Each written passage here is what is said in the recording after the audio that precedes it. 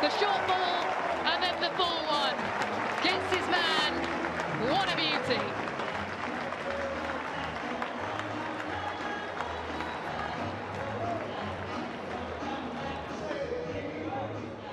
Absolutely brilliant Yorker, equally fast. He's a good player of fast bowling, Faf du Plessis. Ball before, set him up. Next one, 1-2, Faf du Plessis. South African skipper on the way back for 23. South Africa, 59 for two.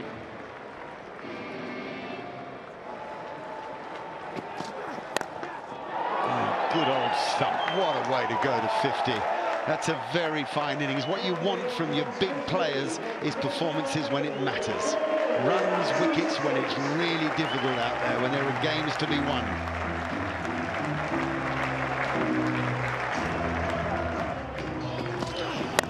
Very uncomplicated and effective cricketer, Brendan. Yeah, and he has exactly at the right time arrived. What a good delivery. Big spinning, left arm spinning, Mitchell Santner. It's been brilliant so far today, Santner.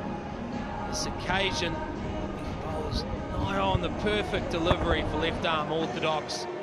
Hashim Amla just looking to lean on it, push forward.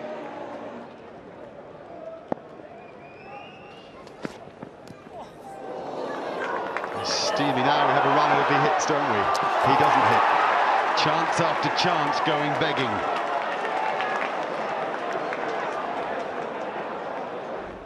I'll tell you what, South Africa had some luck at the start of this run chase. Since then, they've had opportunities, and if you're going to defend a total below par and you're going to keep yourself in a World Cup, you need to take opportunities like this. They'll be very disappointed. They've created these chances. It's not an easy one, They're difficult to regather, but you've got to take those.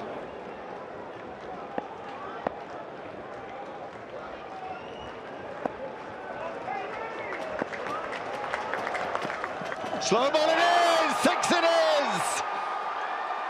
Kane Williamson, pressure, does the business. Goes to a fantastic 100.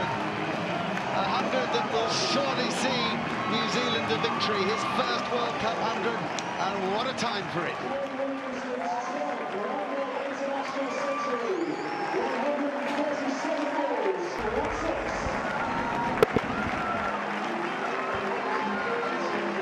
Small in stature, slender man, absolute giant of a cricketer, giant of a New Zealander.